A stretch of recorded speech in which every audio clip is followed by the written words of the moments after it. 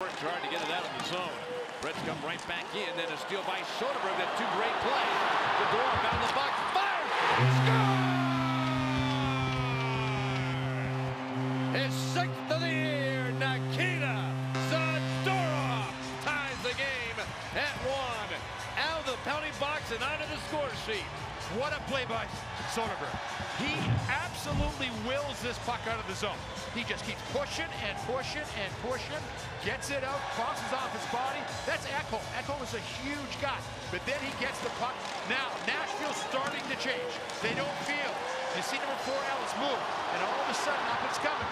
And the big guy just goes, no, you know what? I got the bomb here. Why not throw it right now? And he just unloads and changes the entire